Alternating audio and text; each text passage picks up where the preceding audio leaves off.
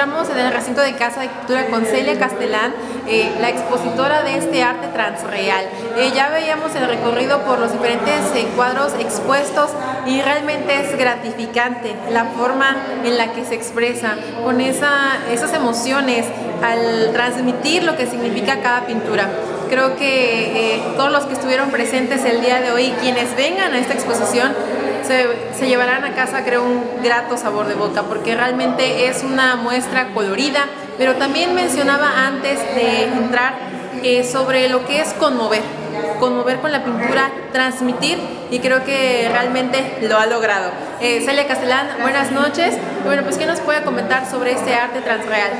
Eh, bueno, pues Transreal es una retrospectiva en la que 22 obras está inspirada en hechos reales, en la que encontramos seres tanto reales como irreales, confabulados en un solo universo, que es lo que yo propongo, y que están suspendidos en el no tiempo.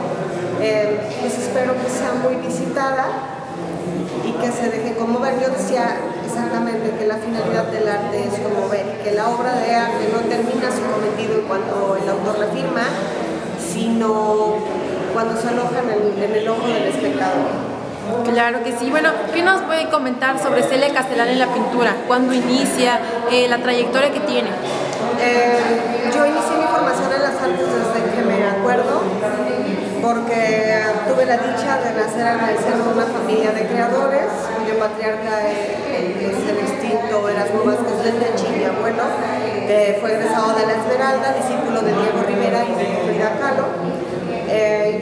crecí, mis hermanos y yo crecimos en su taller en Emilio Carranza, Veracruz. Yo nací en el puerto de Veracruz, pero viví toda mi infancia y mi adolescencia en Emilio Carranza y ahí fue donde, donde empecé a formarme. Sí, bien. Sé que tiene una inspiración desde muchos años, es casi eh, nato. Eh, pues no sé si sea nato, pero sí formo parte de muchas cosas están inspiradas en, cosas que vi cuando era niña, en cosas que veo ahora. O sea, te digo que todo está suspendido en el no tiempo. la obra puede evocar el pasado, referirse al presente y volar hacia el futuro. Ok, bien. Y bueno, pues coméntenos qué le ha parecido a la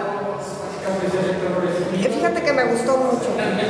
Yo no sabía que era la, la puerta de la Huasteca les comentaba, y hay un cuadro que se llama El viaje de Miguel, mi padre su tierra huasteca, y me da muchísimo gusto que entre por la puerta de la huasteca que es Álamo de Mapache. Alabo mucho la iniciativa tanto de Casa de Cultura de Álamo de Mapache como del ayuntamiento de, enaltecer la cultura y de acercarla eh, a los creadores de otros lugares a la población de, pues, de Álamo, ¿no? Creo que es un trabajo con una calidad potencial para convertir esta ciudad en la capital cultural de la Huasteca, porque hemos estado en varios lugares y de verdad que no hay un esfuerzo y una coordinación como esta para, para realizar eh, este tipo de montajes, de exposiciones, lo que implica el viaje y todo. Eh, muchas veces eh, son muy accidentados y se sufre mucho para llegar hasta este aquí todo, todo ha salido muy bien, están muy bien coordinados, de verdad. Okay, bueno. una gratísima impresión.